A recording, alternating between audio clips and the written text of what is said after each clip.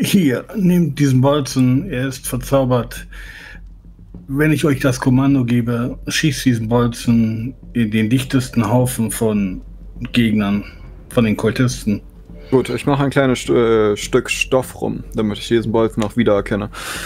Wollen wir wissen, was er tut, wenn er erst einmal abgefeuert wurde? Das wollt ihr nicht. Ihr werdet es sehen. Ähm, Dann sorgt dafür, dass wir weit genug weg davon sind. wie wird er ausgelöst? Nun, er wird ausgelöst durch den Aufschlag. Ein einfacher nun, Trick. Diamantes, lass den Bolzen um, um, um aller Götter willen bloß nicht fallen. In Ordnung. Ich stecke ihn mir mal in die Gürtelschlaufe. Mir ist zwar noch kein Bolzen aus den Köcher gefallen, aber wenn es darum geht, dann ist es so sicherer. Ihr solltet damit jetzt nicht anfangen. Ist ein guter Rat. Nun, was gibt es noch zu tun? Na, wir müssen die Torwaller noch einsammeln. Und wir wollten noch in den Hafen zu. Ja, deswegen sammeln wir die Wir sammeln, Torwaller ein. wir sammeln erst unsere Truppen und gehen dann zum Hafen. Genau, aber haben wir sonst noch etwas zu tun? Der Bautax kümmert sich um die. nur um den Eimer zu halten und wir haben das. Wir haben das Stroh, wir werden uns wohl im Hafen nach Pech oder Teer umsehen können und. Das war's? Gut, dann geht mutig voran. Dann erstmal wieder zur Arena. Ja, Ja, wir müssen da lang. Ja, Rafim hat sich irgendwie als, nicht ortskundig, aber. Also er hat erwiesen, dass er den besseren Peil hat, von daher darf er gerne. Ja, Jalan, du wolltest schon äh, loslaufen. Rafim kann ihn allerdings festhalten. Du wärst einfach die Hauptstraße entlang gegangen. Rafim, du bist dir aber sicher, dort geht's äh, einfach nur in Richtung des Blauen Palastes und er wäre einfach an der Arena vorbeigelaufen. Du allerdings kannst in eine sehr kleine Seitengasse einbiegen, äh, dich ähm, gefühlt drei, viermal im Kreis drehen. Und äh, nachdem ihr dann eine äh, kurze Weile durch die Gassen gegangen seid, taucht plötzlich äh, im Nebel die Arena vor euch auf mit den äh, ziegenhürdenden Verkina-Kriegern. Äh, soll ich nach Ihnen brüllen, Sulamin, oder wollt ihr das selbst übernehmen? Ich übernehme das. Visierer. Nun, auch wenn wir euch folgen, jederzeit steht die Einladung, dass ihr euch meinem Haaren anschließen könnt. Ihr Habt ihr könnt, etwas das für uns so, zu tun? ihr könnt das so oft wiederholen, wie ihr wollt. Deswegen sind wir nicht hier. Wir sind hier, weil wir zum Hafen wollen. Und wir haben den Verdacht, dass uns dort Feinde erwarten. Und den Verdacht habe ich auch. Gut, dann schließt euch uns an. Hm, haben wir etwas Größeres vor? Ja, Ne, sie alle umbringen. Wir haben etwas Größeres vor, ja. Wir Also wissen nicht, ob sich der mal mal blicken lassen wird, aber mit den Kultisten rechnen wir in jedem Fall. Und wir haben gehört, es seien viele. Gegen die, äh, gegen die Froschmenschen zu ziehen, würde mindestens zehn Gesetze äh, mit uns führen. Also gut. Greift eure Waffen! Wir brechen auf! Sulamin hat äh, ihr Pferd doch mitgenommen nach dem Ärger in Peranabad Oh, und, und steigt jetzt ab und äh, lässt es in der Arena wieder laufen. Mach's gut, Shanam. Wenn ich überlebe, komme ich dich holen. Ja, also ein Pferd auf ein Schlachtfeld bringen ist auch nicht vernünftig, Sulamin. Du solltest dich auf Migra setzen, einen guten Kriegsbären, so wie es sich gehört. Ja, sie war, sie war großartig beim letzten Mal, als sie sich auf die Hinterbeine gestellt hat, um diesen Humeria zu zerdrücken mit ihren Vorderpranken. Ich sag es ja, ich verstehe auch nicht, was die Leute mit Pferden wollen.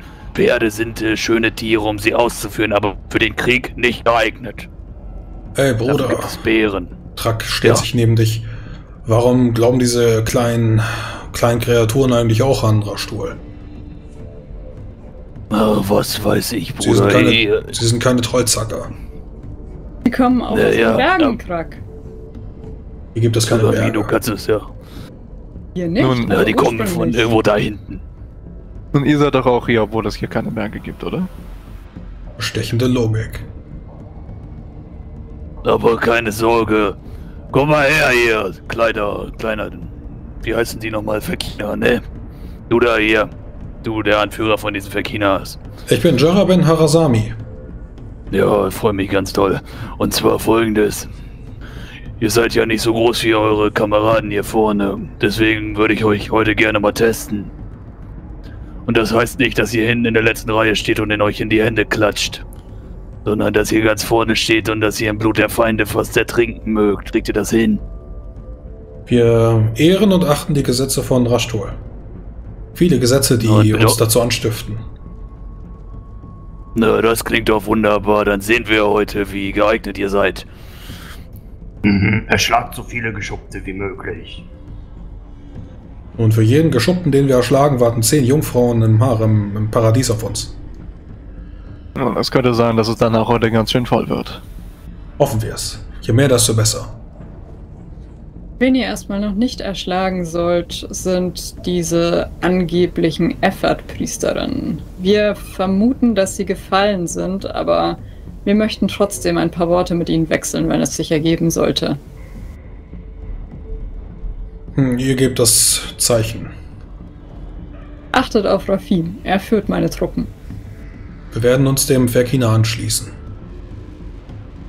Ja, ja, ja. So, äh, Zulamin, wollen wir jetzt noch eben hier die Torwaller holen? Ja, sie sind immerhin die Experten, was den Malma angeht. Na dann, Wunderbar. Wieder einmal muss Rafim durch den dichten Nebel führen. Gassenwissen. Ich hasse diese Stadt. Mhm.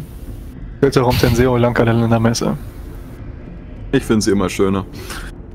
Erinnert dich an zu Hause. So sieht's aus. Nur eine kleine Variation. Oh, ich muss tatsächlich neu würfeln. Schicksalspunkt. Ja, ich muss. Alles? Ich muss- Oder nur Charisma? Nee, alles. Nee, Charisma würde reichen. Nee, ich gehe auf alles. Alles ist, glaube ich, besser. Glaube ich auch. Aua. Oh, boy! Oh. Ja, nee. ihr könnt euch Rafim anschließen, der euch sonst so sehr sicher durch die Stadt geführt hat und ähm, nach nur wenigen Schritten nach der Arena stoßt ihr plötzlich auf den sehr übel fischig riechenden Hafen. Ihr könnt wieder die beiden Effort-Tempel erkennen, die zerfallen hier liegen und die beiden, äh, ja, sind es, sind es noch Eferdis?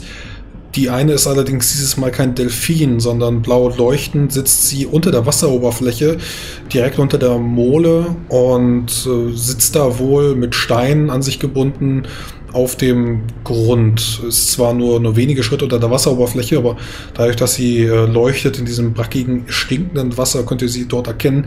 Die andere derweil sitzt immer noch auf ihrer Kiste mit den zerquetschten, zerbrochenen Beinen, die dort lose und nutzlos zurückhängen.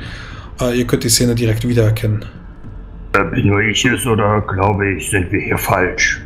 Oh, scheiße, Tro Trollzacker Verteidigungsformation für China. Holt mir mal diese Kloppte da vorne hier Na, hin. na, na, Rafim, Rafim, sollten nein, wir- nein, sollten- nein. Nein, Was? nicht die Mach du Verkinas, nein. Holt sie zurück, pfeift sie zurück, jetzt! Ja, fass die Frau vorsichtig an und bring Nein, sie gar hier hin. nicht! Die Ferdis, stör, die, die Ferdis, die Verkiner stürmen los und nach wenigen Augenblicken äh, könnt ihr sehen, wie die äh, ja, Tempelvorsteherin, zumindest die Torwalerin mit den zerquetschten Beinen, äh, geschliffen wird über den äh, Asphalt und dann vor euch im Dreck landet. Rafim! Das zweite Mal in zwei Tagen! Geduld Ja, ist eine Tugend! La ja, Landklappe. Richtet die Frau auf, dass sie nicht mit dem Gesicht im Dreck liegt. Ah, ich Er werde mich euch nicht ergeben. Effert zum Gruße. Ich bemühe mich, die Frauen ein wenig sauber zu machen mit einem, mit einem Handtuch, das ich vermutlich von Abel mir gestohlen habe, so einem Taschentuch, tupfe irgendwie ein bisschen das Gesicht ab. Wir hatten einen Reden sind. Waffenstillstand. Nutzloses Pack. Verzeiht, dass sie etwas grob mit euch umgesprungen sind. Sagt mir, was ist mit eurem Tempel? Geschändet. Schon direkt zur, zum Beginn der Zeit. Niedergerissen, angezündet, vernichtet. Das ist schlecht. Und was wurde danach aus euch? Wie, was wurde? Er hätte nicht meine Beine. Oran hat mich geknechtet, aber nicht gebrochen. Das ist gut. Das bin der so Ragnas. aus. Ich bin der Verdane Ragnars dort hier. Swafnir möge über euch richten. Gehört Ja, ihr. ähm. Habt ihr mit den Torwallern zu tun, die hier in der Stadt sonst noch sind? Hm, Sie sind schon seit einiger Zeit nicht mehr hier, aber früher war ich wohl für Sie zu, zu, zuständig, ja, ja. Und auf der anderen Seite des Hafens. Dort hatten wir einen kleinen eigenen Tempel. Oft sind sie angelandet, hatten dann ihre Schätze, die sie geplündert haben, bei mir abgelassen, aber das ist eine andere Zeit. Der Tempel ist wahrlich vernichtet. Hier konnte ich wenigstens noch mit äh, Fasina sprechen, aber das geht mittlerweile auch nicht mehr. Das die andere Frau, die dort auf dem Grund sitzt? Ja, sie sitzt da mittlerweile seit, ich glaube, zwei Tagen. Meditiert. Sie meditiert. Und ihr denkt, dass sie keine Luft mehr braucht. Das ist eine Gabe Efforts? Sie zuckt mit den Schultern. Ja, warum nicht? Soll ich mal mit ihr sprechen, Sudamin? Ja, aber bitte steckt nicht euren Kopf in dieses Wasser, ja? Ah. Es ist Also- Außerdem, Boltax, wenn die Frau so tief meditiert, wird sie euch nicht hören. ist ein Punkt. Naja, Sie wird von alleine wieder auftauchen. Äh, Das macht sie Warum öfter. lebt ihr noch? Warum ich lebe? Keine Ahnung. Ja. Nein, wieso hat euer Mann euch noch nicht umgebracht und wer bringt euch was zu essen? Äh, Fische von Fasina, die sie mir ab und zu bringt. Oder Krabben. Ähm, Krabben. Oran hat mich äh, gequält, aber nicht getötet. Ein, ein, ein toter Mensch bringt Oran nichts. Gequält sehr wohl viel mehr. Aber die ganze Stadt ist voller Anhänger der tiefen Tochter. Wenn ihr noch eine Effort-Geweihte seid, wieso lebt ihr noch? Ich bin eine verdammte Swafni-Geweihte. Ja, und was ändert das? Hm. Wahrscheinlich wenig, aber ich bin keine Gefahr. Ich ziehe mich in der Nacht zurück in den Tempel und äh, drücke die Türen zu. Sie Ja, springen zwar dran vorbei, aber betreten ihn nicht. Und die anderen, äh, ja, die Torwaler beschützen mich zwar nicht, aber ich stehe normalerweise in einem Waffenstillstand mit den anderen Parteien. gut. Also, sagen wir mal rein hypothetisch gesehen. Wir hätten vor, den Malma zu vernichten und das, was hier im Hafen lauert, zu zerstören. Hm? Wie kriegen wir das hin? Tja, da müsstet ihr wahrscheinlich zuerst äh, den, den Schlussstein wieder anbringen. Den was nun bitte? Nun, Ja. Habt ihr es nicht gesehen? Es gibt, dort, es gibt dort draußen einen, einen gewaltigen Sog, einen Strudel. Oft ist er nicht da, oft, äh, oft strudelt es unter der Wasseroberfläche chaotisch und, und unberechenbar, aber dort unten ist eine Pforte des Grauens. Und solange die nicht versiegelt ist, könnt ihr es mit dem Malmer nicht aufnehmen. Ich hab's euch doch gesagt. Er ist unbesiegbar. In Ja, Zorgan und wo- sagte man uns das Gegenteil. Solange wir den Malmer nicht besiegt hätten, könnten wir die Pforte nicht schließen. Also, wo ist dieser Schlussstein? Tja, ich gehe davon aus, dort, wo der Kult tief im Gewürm sitzt. Und wo sitzt der Kult tief im Gewürm? Es wäre hilfreich, wenn ihr uns einen genauen Ort nennen würdet. Sie deutet äh, mit der Hand einmal auf die andere Seite des Hafens. Oh, das ist hilfreich gewesen. Gut. Man sieht von hier aus nichts, oder? Äh, Nebel, aber nein.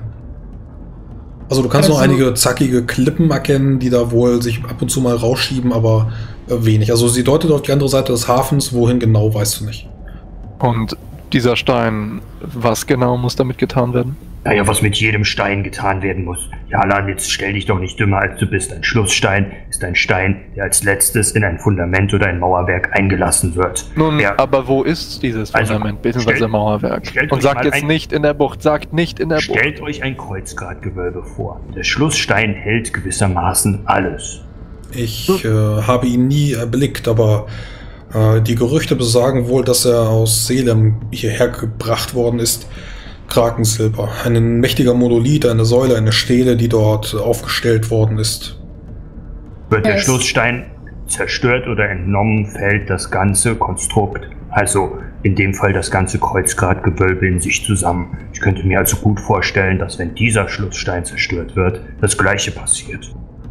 Aber ich vielleicht- bin zwar keine Baumeisterin, sondern das Einzige, worauf ich mich verstehe, ist äh, Schiffe bauen, beziehungsweise dann die großen Methallen oder ein Zwafnir-Tempel, aber ähm, ich bin auch keine Magiekundige, aber es kann durchaus sein, dass ihr recht habt, ja.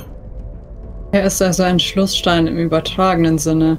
Doch ihr sagtet, wir sollten ihn zur Pforte des Grauens tragen. Mir erscheint es viel schlüssiger, was Boltax sagt, nämlich ihn zu zerstören. Ihr sollt ihn zerstören. Nun, wenn es ein Monolith ist, aus Krakensilber, wie zerstört man den? Mit Magie, schätze ich.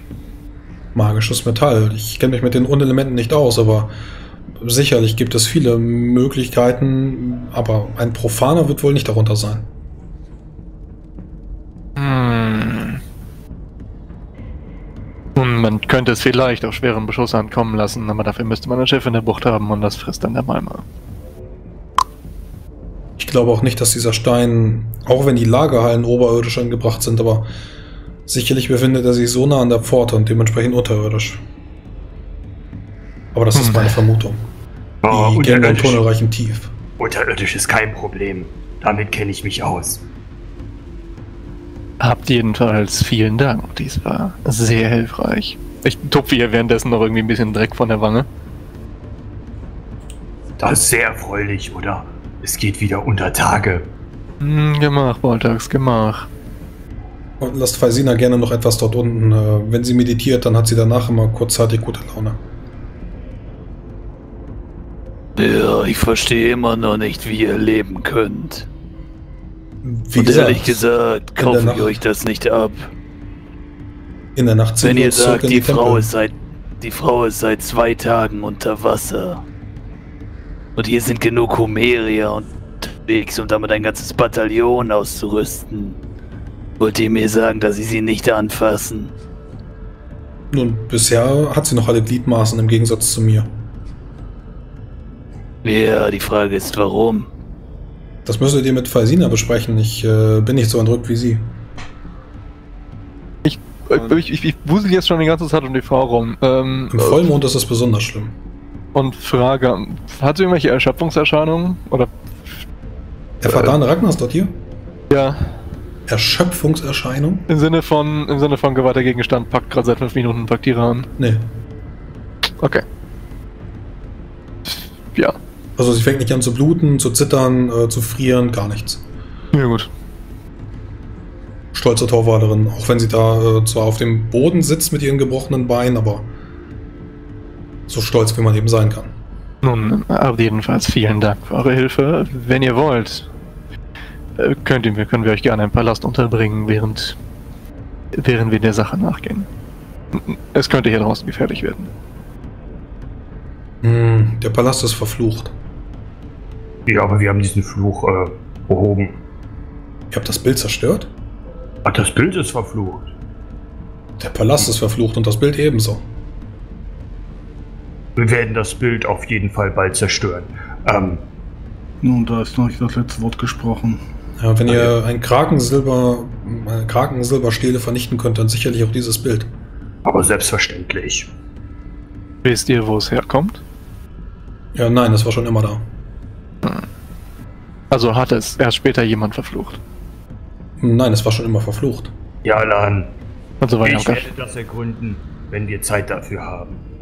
Natürlich, natürlich. Wer kennt sich besser mit gemauerter Kunst aus als ein Zwerg? Seht ihr? Niemand. Seit wann seid ihr ein Kunstexperte? Und äh, ich habe euch die ganzen Fresken in Fasad doch wunderbar erklärt. Was mit Kalmans Hand, na? Erinnert ihr ja, euch? das waren zwergische Bauten, zwergische Kunst.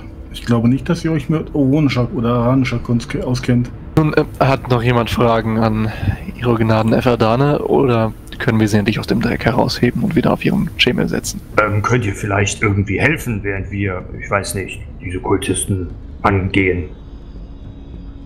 Ich könnte den Nebel für einige Zeit vertreiben, wenn ihr mögt, aber Ich ob denke, das, das ist langfristig hilfreich. funktioniert. Aber helfen wird es sicherlich. Würde uns dann- einen Überblick über den Hafen äh, geben. Dann kann ich das tun, wenn ihr sagt, dass ihr so etwas braucht. Könnt ihr die Eferdi rufen, damit sie uns unterstützt im Unheiligtum? Nein, mit Fasina ist seit langer Zeit nicht mehr zu, anzufangen. Nun, es geht gegen die Feinde ihrer, ihrer, ihres Gottes. Ja, sie weilt. Hm, ich glaube, sie weilt schon fast nicht mehr in dieser Sphäre. Also körperlich ja, aber ihr Geist ist in äh, hoffentlich der vierten Sphäre. Oder der fünften? Oder der sechsten? Hoffentlich nicht in der siebten. Also wollt ihr mir jetzt mitgenommen werden, weil wir holen noch die Torwaller? Oder wollt ihr euch hier hinsetzen? Äh, Stirbjörn? In die Richtung. Äh, nein, ich bleibe hier. Setz mich einfach auf die Kiste. Ich gucke gerne den Fisch beim Schwimmen zu. Gut, gut. Und äh, Baltax hilft mir mal, ja? Ja, Und dann setzen wir sie vorsichtig wieder dahin, wo man sie so liebsam hergeschliffen hat. Während wir das machen, würde ich Jalan zuflüstern. ja dann. Dir ist bewusst, dass ich dich aufgrund meines Wissens von gestern Nacht jetzt in der Hand habe. Ich weiß. Gut, Bin mir sicher, wir kommen jetzt zu einer Übereinkunft. das denke ich auch. Zu gegebener Zeit. Also ich würde mich mal zur Abelmir runterbeugen. Seltsam, nicht wahr? Die einzige Effort-Geweihte oder Swafni-Geweihte, die ich jemals gesehen habe, die nicht wütend wurde. Ja, in, der- in der Tat. Ein sehr mürrisches Volk. Aber wahrscheinlich hat sie ihren Verstand verloren. Angesi angesichts Dafür der, der Pforte des Grauens ist das nicht unwahrscheinlich. Dafür klang sie noch verhältnismäßig klar. Nun, äh, wenn ihr zur Stirbjörn wollt, dann äh, nehmt diese Schuppe, reibt sie dreimal und dann äh, geht in die Richtung. Dann kommt ihr ohne Unterlass dorthin. Ja gut, warum nicht? Ihr könnt auch gerne eine Tierkundeprobe würfeln, wenn ihr mögt, um diese Schuppe zu identifizieren.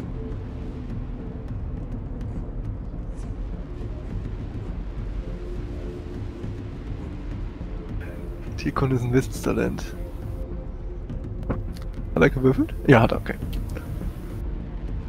Es könnte eine Schildkrötenschuppe sein. Es könnte aber auch, wenn man sie so biegt und trocknen lässt, eine Seeschlangenschuppe sein. Ihr wisst es nicht genau. Ich mag Geschupptes nicht. Nun, ist nur eine Schuppe.